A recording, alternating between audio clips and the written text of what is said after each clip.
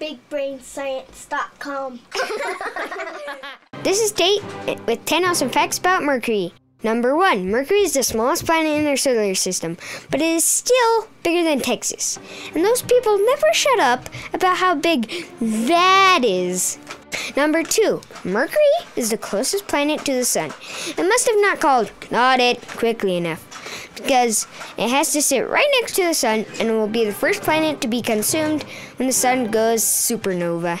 Number three, Mercury's surface looks a lot like our moon. It is covered with craters that do not erode. Some are millions of years old. Number four, Mercury is named after a Roman god who used winged shoes to deliver messages. He evidently performed these duties without any pants. He, he should have spent more money on pants and less on shoes. Number five, Mercury has no moon. On the upside, it would be ideal for people who are scared of werewolves or people who are scared of tide changes.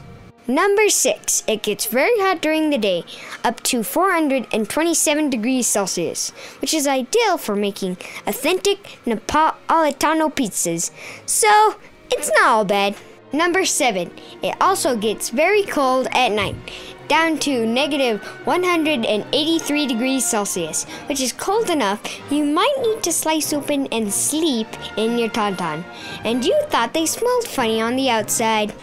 Number 8. Mercury has only 38% of the gravity of Earth, so you could jump pretty far on the surface until your muscles interpede. Then you would be just as weak as you are on Earth, which is pretty weak. Number 9.